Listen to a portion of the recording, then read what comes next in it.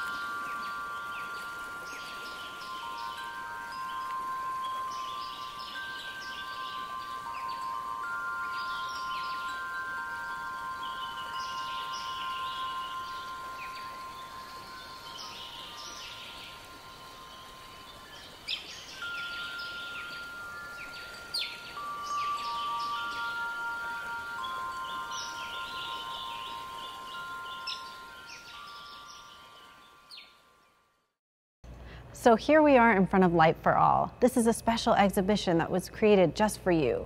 Inside, we're going to see the artwork by Raul Colon.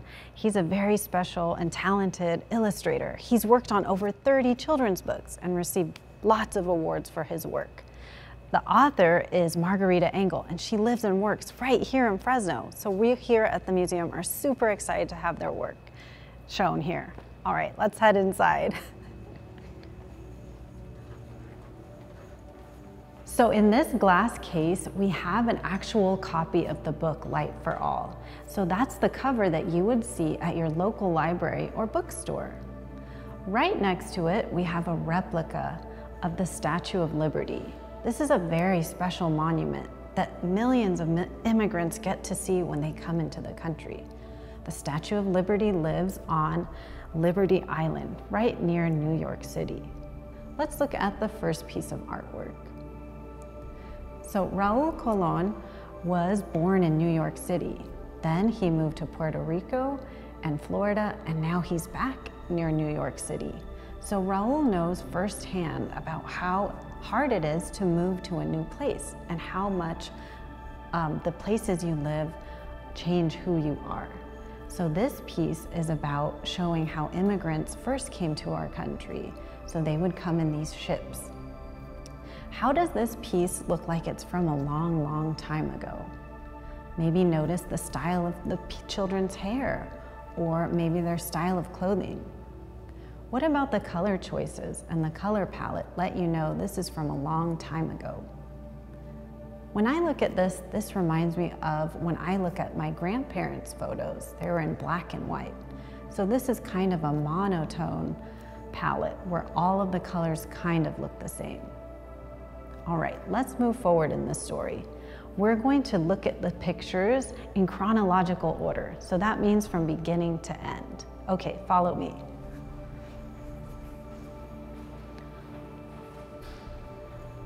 So here we have the first piece. It's called Light of a Mighty Lamp. So what do we notice in this piece? When I look at this piece, I see ships moving in a large body of water. I also notice that the sun is setting or maybe rising. I see a body of land towards the top left part. And then I also see the Statue of Liberty holding up her torch and lighting the way. So maybe she's acting like a lighthouse. I also notice the artist's technique. If you get a really close look, you can see how the artist worked. So when Raul first gets a piece of paper, he puts down a very light wash of watercolor, so it kind of makes the whole paper golden. Then he lets that dry out and he starts sketching out his ideas. So it's like a blueprint or a plan for his work.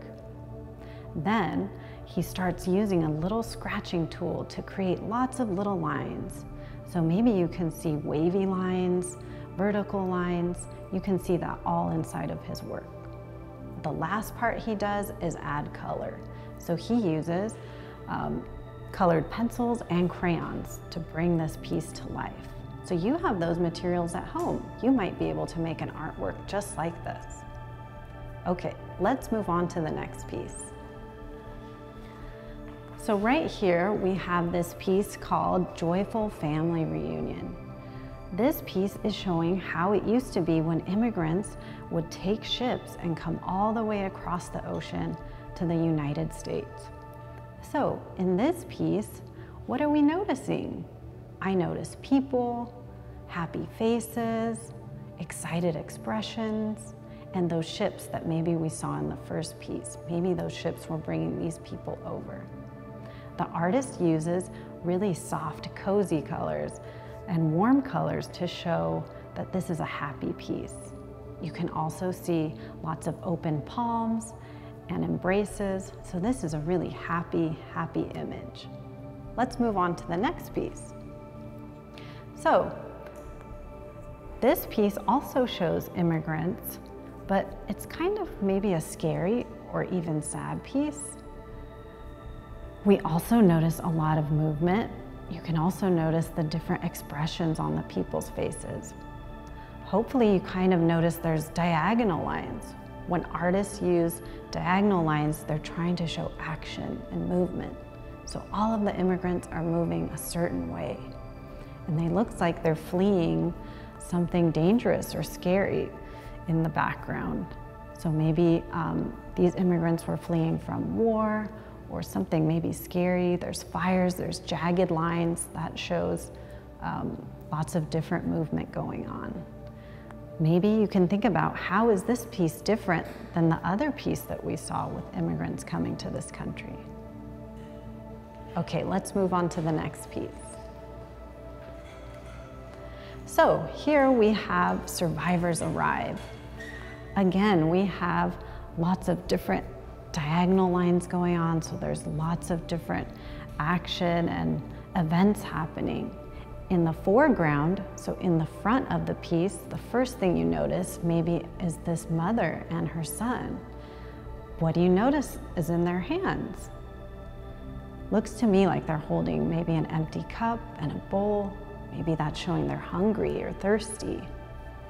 On the right side, we can see another friend and she looks like she's holding her hand to her face. So to me, that shows maybe she's worried.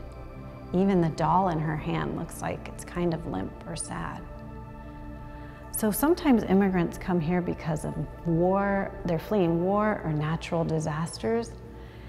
Um, so the artist is showing all of these different things, that people have different stories that bring them here to the United States. Maybe those looming clouds also show, maybe they're going to leave something that's scary and moving on to something much more hopeful.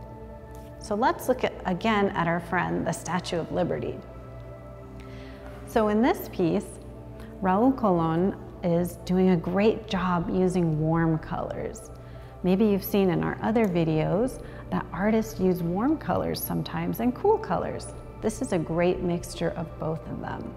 The light coming from the torch is using yellow and orange, and those are great warm colors. And then the clouds and the sky and the Statue of Liberty herself is showing us nice cool tones. Also notice that there's circles of light coming from her torch. When artists use circles, they're showing unity.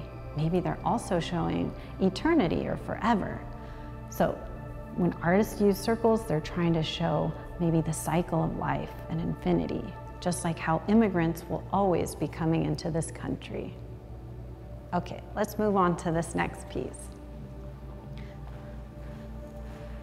So in this piece, Margarita Engle writes that immigrants come to this country to become doctors, to become artists and singers, scientists and athletes, so how is this piece showing how our friends that come to this country, how, are, how is it showing that they can do that?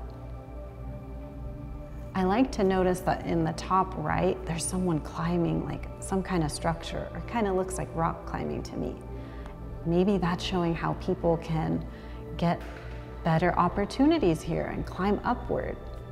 So maybe think about how your family came to this country or how you know someone else that came to this country and changed their lives.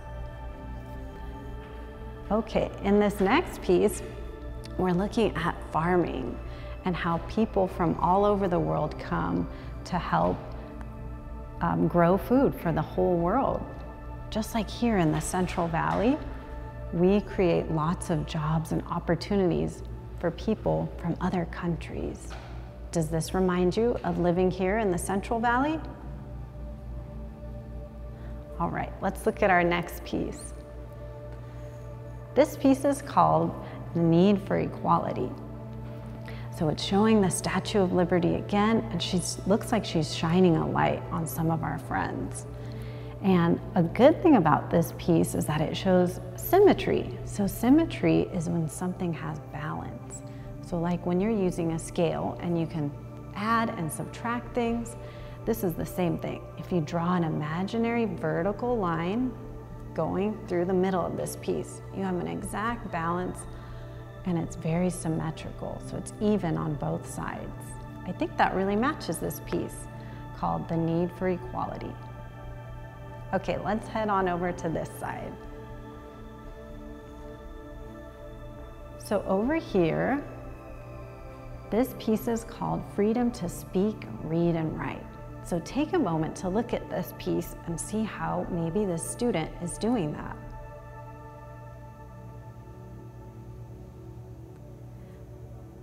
So in this piece, it looks like she's reading books. She may be writing a letter or an essay. So those are our freedoms to read whatever we want and to write whatever we want. And then if you notice on her bed, she has a cell phone. So she's able to use that to speak however she wants to, to call her friends or family or however she wants to talk to. And she has the freedom to do so. All right, let's move over here. And again, we have all of our friends. This is a great image. They're reading together, they're learning and studying. At the very top, there's someone giving a speech or saying something important. So this is about our freedom of speech too, and our freedom to read and write as we please. I think it's important to note too that all the students are on stairs. So maybe they're going upwards or ascending, and maybe they're learning more as they get to know each other. All right, let's look at this piece. I like this piece a lot because it kind of reminds me of looking through a kaleidoscope, if you've ever done that. So you're basically looking through a kaleidoscope and you're getting to see all these different colors. And every color works together harmoniously or together. There's no one fighting for more attention. So this piece is about how immigrants have a language that they speak in their homeland and then they bring it here and then they also learn a new language here. And it shows how multifaceted they are. So they have different facets, different faces. So that's what this piece is about. Okay, now we'll move over here. And there's two different pieces and it shows about the immigrants' homelands. So all of our friends where they originally came from. So you'll see images of Mayan or Aztec ruins from Mexico, the Taj Mahal in India, and over here in this piece, we have the Great Wall of China and an African savanna. So maybe these places feel familiar to you. I know they do to me.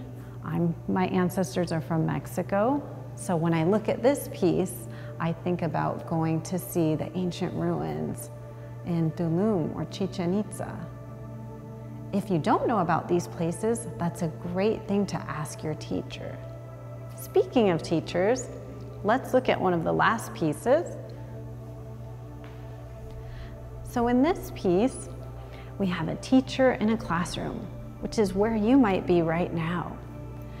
It talks about how teachers are tasked with giving us information and telling us about the history of the United States, all the great things we've done and some of the so great things we've done. But this is a really important thing that teachers do for us. So thank you so much to all our teachers out there. All right, let's look at these last two pieces. So in these last two pieces, the light has escaped from the torch of the Statue of Liberty she still looks like a great example and a shining light for all of our friends that come to this country. But now that light has escaped and it's making all of these wavy, curly lines. When you look over at this piece, it looks to me kind of like maybe lassos or ties that bind us all together. So, we want to thank Raul Colon and Margarita Engle for giving us a light for all. And now you're gonna go do an art piece with Miss Katie in the back. Thank you so much.